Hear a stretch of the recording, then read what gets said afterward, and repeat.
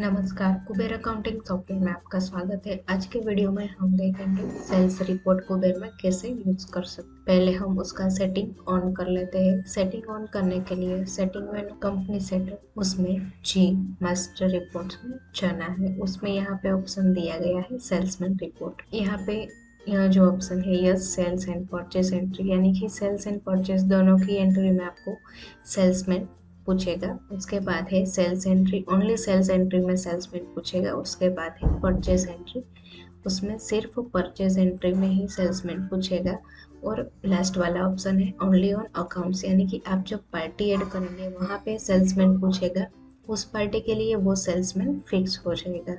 यहाँ पे हम सिलेक्ट कर रहे हैं yes sales and purchase entry उसको सिलेक्ट करके ओके पे प्रेस करना है, उसके बाद यश सॉफ्टवेयर एक बार रिलोड करना है।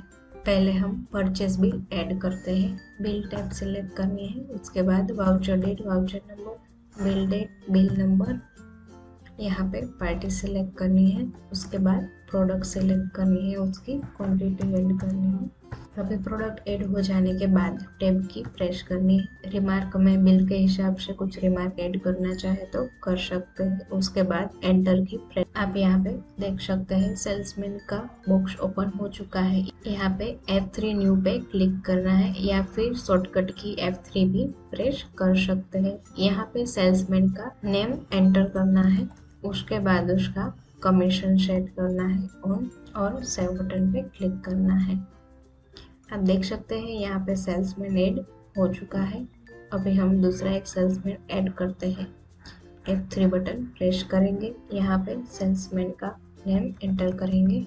उसका कमीशन ऐड करके सेव करना है। अभी हमने दो सेल्समैन ऐड किया है। अभी हम इस परचेस बिल में A B A B C salesman select करते हैं और सेव बटन पे क्लिक करना है।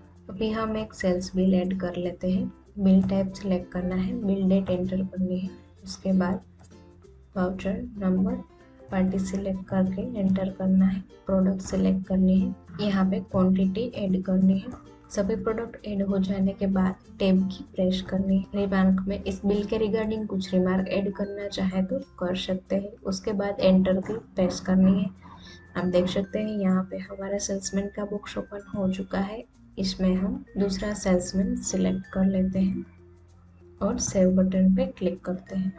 रिपोर्ट मेनू में यहाँ पे स्पेशल रिपोर्ट उसमें यहाँ पे आपको ऑप्शन मिल जाएगा सेल्समैन रिपोर्ट का। आपको यहाँ पे सेल्समैन सिलेक्ट करना है और ओके बटन पे क्लिक करना है।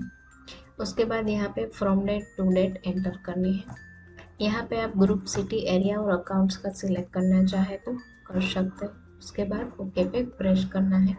अभी हम इस रिपोर्ट का प्रीव्यू देखते हैं। आप देख सकते हैं हमने वाई सेल्समैन में एक सेल्स बिल की एंट्री की थी, वो यहाँ पे आ चुकी है। और इस बिल की सारी डिटेल्स भी आपको यहाँ पे मिल जाएगी। इस तरह हम एबीसी सेल्समैन सिलेक्ट करते हैं और उसका रिपोर्ट देखते हैं। हम देख सकते हैं, हमने जो परचेस बिल ऐड किया है वो यहाँ पे आ चुका है और उस बिल की सारी डिटेल्स यहाँ पे आपको मिल जाएगी। आपने जो सेल्समैन में कमीशन ऐड किया है, उसके हिसाब से बिल की अमाउंट पे यहाँ पे आपको कमीशन कैलकुलेट होके आ जाएगा। इस तरह आप कुबेर में सेल्समैन का यूज़ इजिली कर सकते हैं और सेल्समैन वाइज रिपोर्ट भी देख सकते हैं।